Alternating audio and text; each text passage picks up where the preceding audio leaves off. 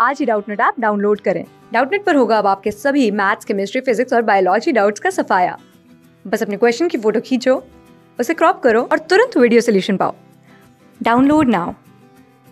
Name two parts of human body in which cartilage is present. पूछा गया है कि ह्यूमन बॉडी में ऐसे दो पार्ट्स कौन है, जहाँ पे कार्टिलेज प्रेजेंट रहता है। तो अगर हम लोग ह्यूमन बॉडी को देखें ठीक से तो ह्यूमन बॉडी में कार्टिलेज जो होता है, ये बहुत ही ज़्यादा एक सॉफ्ट टिश्यू होता है। और ये सॉफ्ट टिश्यू को अगर देखें तो ये बहुत ही ज़्यादा फ्लेक्सिबल होता है और बहुत ही ज़्यादा इलास्टिक होता है इन नेचर जिसमें मूवमेंट जो है, वो बहुत ज़्यादा ही दिखाई देता है। और ये कार्टिलेज जो है, ये बेसिकली बॉडी में बहुत सारे जगह पाए जाते हैं। जो कि हेल्प करते हैं क्या करने में?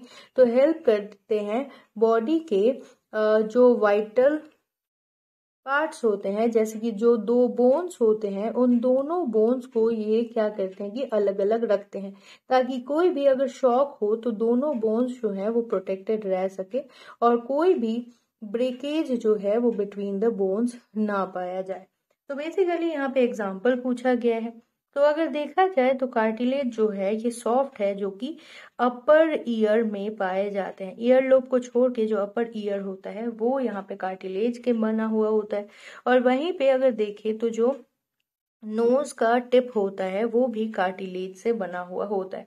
और इसी के लिए हम लोग इसे किसी भी साइड मूव करते हैं, क्योंकि ये इतना ज़्यादा सॉफ्ट पाए जाते हैं। तो यही हो जाता है correct answer according to the question, और इसी को हम यहाँ पे नोट डाउन कर लेंगे। क्लास सिक्स से ट्वेल्थ से लेके NEET I I T JEE mains और एडवांस के लेवल तक। दस मिलियन से ज़्यादा स्टूडेंट्स का भरोसा। आज ही डाउनलोड करें डाउट नेट आप या व्हाट्सअप कीजिए अपने डाउट्स आठ चार सौ चार सौ चार सौ पर।